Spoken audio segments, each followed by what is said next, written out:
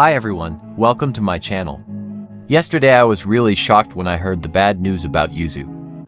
And all the community is really sad about it. They asked me what happened.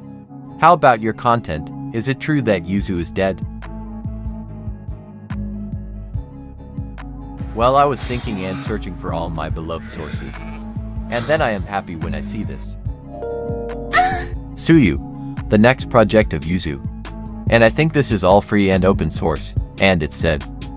This project does not support piracy. You are required to source your own games and keys. We make no money off this project mainly so that Nintendo won't sue us lol.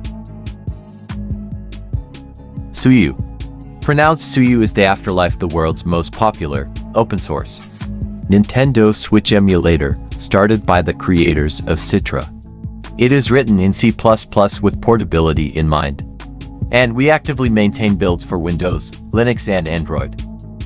If you want more info about this project, I will leave the link on the description. What about your thoughts on this video, please comment down below. If you want more videos like this please hit that subscribe button and bell icon. And that's all for this video, thank you for watching, see you on my next update.